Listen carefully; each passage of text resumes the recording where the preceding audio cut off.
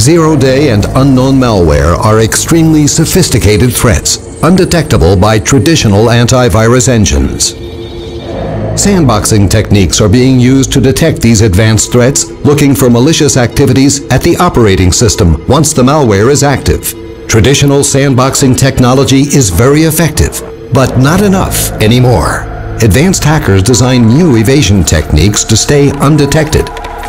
This gap can be addressed by detecting threats one step before the computer gets infected, at the exploitation stage.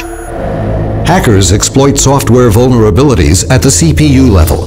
There are several exploitation methods. But the most popular one is ROP.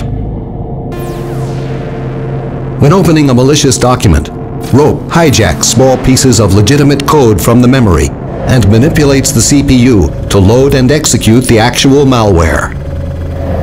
Detecting this manipulation at the CPU level is the key to stopping attacks before they even happen.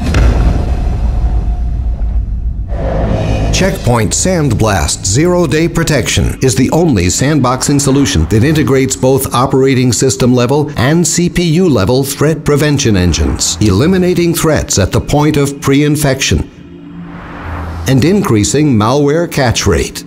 It delivers advanced detection and prevention capabilities and is resilient to sandboxing evasion techniques.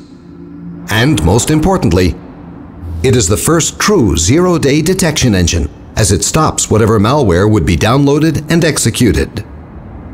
To learn more, visit checkpoint.com.